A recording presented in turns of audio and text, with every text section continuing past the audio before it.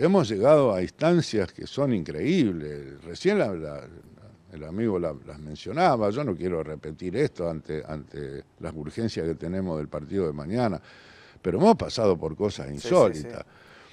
Que, uno no la podría explicar. fuimos el hazme reír del mundo en un país donde gente del empresariado, ¿eh? decentes empresarios, se sentaron en un escritorio y juntamente con, los hinchas, crear un club como, como, River, como Boca, un club a dos cuadras del, otro como Independiente y Racing, en Rosario, Rosario Central y Ñuble, es decir, ha sido, el fútbol para nosotros ha sido un lugar de privilegio y de distinción, y hemos pasado a, hacer el hazme reír del mundo del fútbol, porque a quién se le puede ocurrir haber llegado a estas instancias hasta el 90.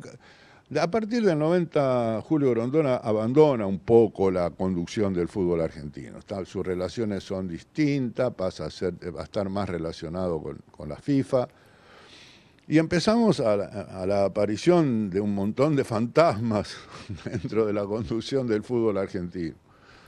La muerte de Grondona, peor todavía, mucho peor lo que le pasa al fútbol argentino, pero peor de todo, lo peor de todo, por eso yo eh, me fui a la miércoles con el tema de la selección, pero es un buen lugar para decirlo, es un buen lugar para decirlo porque es imposible hablar de negocios en el fútbol, de la plata que ingresa, si el Estado no participa en la custodia de los intereses del socio. Es decir, a través de su organismo tiene un poder judicial y las sociedades sin fines de lucro deben ser vigiladas.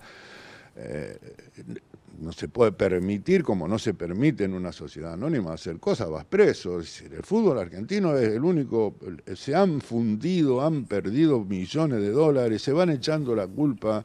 Y yo no hablo, fíjate que ni siquiera me atrevo a decir que sea porque, porque robaron, sino por la enfermedad del éxito que los condiciona a querer comprar y después cuando no tienen plata venden y vuelven a comprar y, y terminó el fútbol argentino realmente en un circo, en un circo que solamente se sostiene porque todavía flota una relación afectiva entre la pelota y el público.